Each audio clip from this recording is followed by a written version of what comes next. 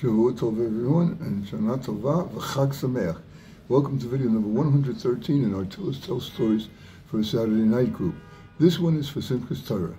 I adapted and supplemented it from the written version of Yaakov Kass of Jerusalem, which was first published in the popular Israeli English language weekly, Living Jewish, uh, with a few additions from the version, the Hebrew version on chabadpedia.co.il.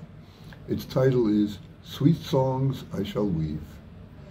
Uh, for nine years, from 1955 to, to 1963, towards the end of the, Simchat Torah celebrations in 770 Eastern Parkway, the Lubavitch World Headquarters in Brooklyn, the Lubavitcher Rebbe would teach a new niggin, a new Hasidic song to the large crowd assembled there.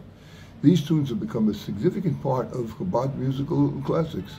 One of them, from 1961, is a version of Anim Zemirot, which was never heard before.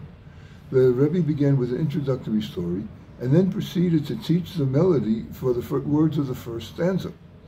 The story is about a holy Jew in synagogue on Yom Kippur. As the congregation was praying Ma'ariv, the evening prayer, prayer at the termination of the 25 plus hours fast, this man put one foot on a bench and, still covered by his tallis, his prayer shawl, began singing Anim Zemirot to the new tune. When the Gabbai, the shul manager, opened the shul for the morning prayers, this holy Jew was still in the same position and still singing the same tune, not yet even having broken his fast. Within a short time after this session with the Rebbe, a lively discussion arose among the Hasidim as to who this Jew was in the story that the Rebbe had told. The general consensus was that it must have been the Rebbe himself, but there were many differing opinions. So they turned to the famous Chassid Reuven Dunin, who had a particularly close relationship with the Rebbe, and begged him to ask the Rebbe who the person in the story was. Uh, Reuven Dunin fulfilled his mission faithfully. With a smile, the Rebbe replied, No, it wasn't me. I don't even know who it was, but I do know that he was not a Chabad Chassid, as I shall explain. There was once a poor Jew in Russia who eked out a living by going from door to door selling haberdashery. It occurred to him that if he could make enough money to open his own factory, he could make a larger profit on his sales and become rich. So for many years, he put aside a few coins every day until he had saved a significant amount, enough to buy a plot of land on which to build his factory. On the way to sign the contract with the seller and purchase the chosen plot, he passed by a Jewish inn. Outside the inn stood a desperately distraught woman, surrounded by her children, crying hysterically. He asked her what the problem was, and she answered that her husband had just passed away, leaving them without a penny. She told him that the, her wicked and heartless landlord was threatening to evict them and to throw them in jail if they did not pay the rent immediately. He asked her how much she needed, whereupon she quoted the exact sum of money he had in his pocket. Without hesitating for a second, and with a big smile, he gave her all of his money. His factory was not to be, but that was no consequence in comparison to having merited to save a Jewish family from destitution. A storm broke out in heaven as a result of this amazing act of Mesiras Nefesh, of self-sacrifice.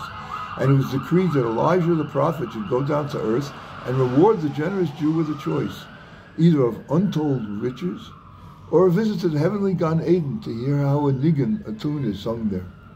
The Jew chose the latter, and this came to be for him when immediately after Yom Kippur, he was singing Anim Zemirot throughout the night until the following morning.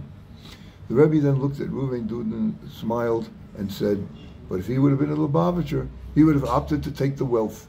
Why? In order to establish and maintain Chabad all over the world. Chabad houses.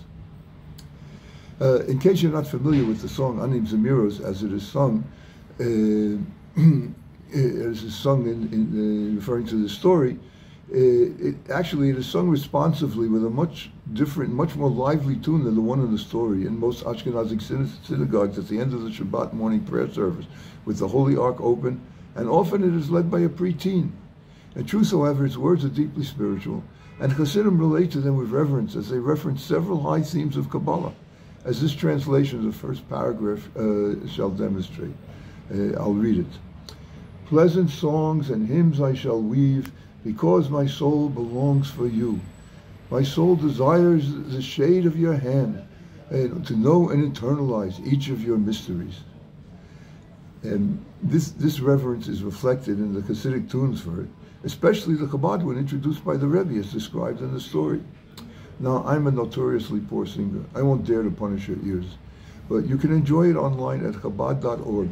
The link to it on their website is www.chabad.org.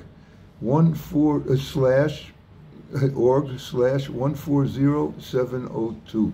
140702. www.chabad.org 140702. Chag Sameach.